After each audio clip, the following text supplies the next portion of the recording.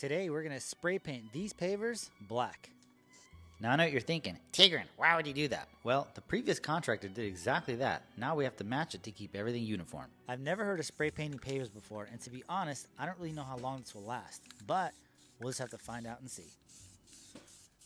We can already tell that these pavers have faded and aren't as black as those, but we'll let it slide for now. Drop in comments if this is a stupid idea or IQ level 1000.